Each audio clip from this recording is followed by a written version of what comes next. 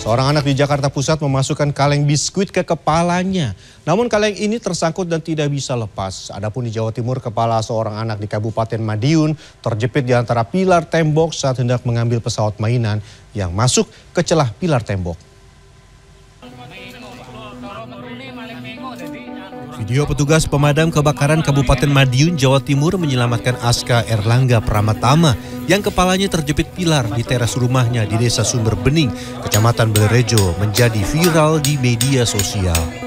Untuk mengeluarkan kepala bocah berusia 8 tahun ini, petugas damkar terpaksa merusak pilar menggunakan palu dan pahat besi. 15 menit berselang, kepala Aska bisa dikeluarkan dari pilar dalam kondisi tanpa luka.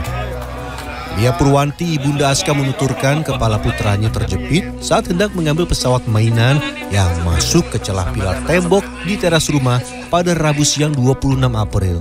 Lia pun menghubungi pemerintah desa Sumber Bening dan diteruskan ke tim damkar Kabupaten Madiun.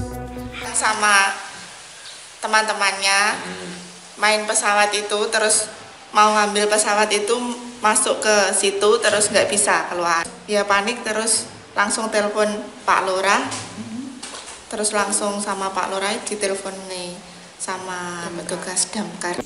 Sudah sampai di lokasi, petugas dengan melihat situasi keadaan eh, mempersiapkan kelengkapan alat dan langsung evakuasi sekitar 15 menit.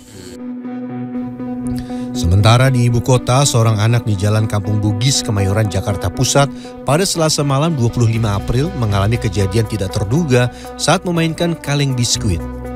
Kaleng biskuit ini tersangkut di kepalanya dan tidak bisa dilepas. Oleh kedua orang tuanya, bocah ini kemudian dibawa ke pos pemadam kebakaran sektor Kemayoran untuk meminta bantuan petugas damkar melepaskan kaleng biskuit yang tersangkut di kepala. Setelah proses penanganan selama 23 menit, kaleng biskuit bisa dilepaskan dari kepala anak ini. Tim Liputan CNN Indonesia.